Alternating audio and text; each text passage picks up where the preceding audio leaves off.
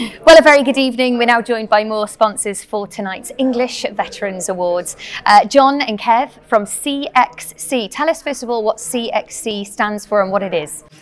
So, CXC, Company X Consulting Limited, is a uh, SME consultancy service. Mm-hmm. We predominantly um, recruit armed forces personnel or veterans.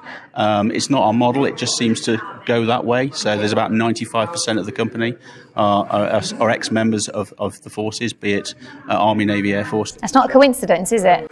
No. They're a different breed, aren't they? Yeah, they sort of come to us. yeah. Um, and basically, we consult into defence and government uh, and suppliers, basically with the skill sets that we've already learnt when we were serving. Fantastic. And I see that you, you're a veteran yourself. Yep. Where did you serve? I can't. So, I served in Iraq, Afghanistan, um, Bosnia, um, and obviously anything else that was going on at the time. Fantastic. So you are a leaver to a leader as well, as we like to call you guys. Yeah, yeah. so left uh, 10 years ago now, yeah. actually. 10 years ago. Um, went into consultancy, and then um, two others of my, my, mates basically were in the same consultancy company. And we just had an idea that we could probably do something slightly different, so we did. Fantastic. Well, it's obvious why you get involved with these awards, but why are they so important, John, for, for the wider community? Well, so so I'm actually the only um, well, was the first non-veteran to join the company. Gosh, okay, well, um, a different perspective, isn't it? But the thing is, I've come in as an ex-civil servant, so mm-hmm. I'd spent sort of 20 years working alongside the armed forces. Oh, fantastic! And I think that's given me that perspective of seeing kind of how important it is yeah, to get yeah. armed forces into industry, get yeah. them supporting across.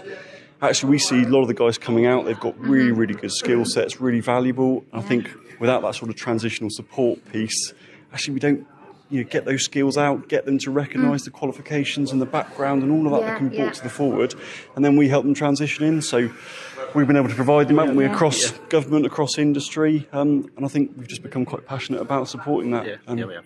Absolutely. Well, thank you so much for supporting. Is there anything in particular tonight that you're really looking forward to? Because I know who's, who's going to come up come up on stage to present the award. Have you decided yet? Yeah. So John's going to present. John's going to do it. All right. Just okay. in just in case okay. we we are actually going to win anything, and then I will obviously come up and collect yeah. on behalf of the company. Oh, fantastic! So Brilliant. hopefully the person I present to isn't too short, so isn't mismatched, but we should be okay. Oh, you'll be absolutely fine. Well, look, go and enjoy yourselves. It's probably been a, a good half a year and a half since you've been yeah, out in your glad rags and you're looking lovely. So still fits. Yeah, still fits. We're looking for the goat. Yeah, we can't find the goat yet. yeah, where's, where's the goat? I don't know where the goat is. I'm not sure whether the goat will come. I'm sure it will. Maybe they're at the end. Well, that's the highlight. Yeah, exactly. That's the highlight for everyone, isn't it? Guys from CXC, thank you so much. No Thanks, Polly. Thank you, Polly.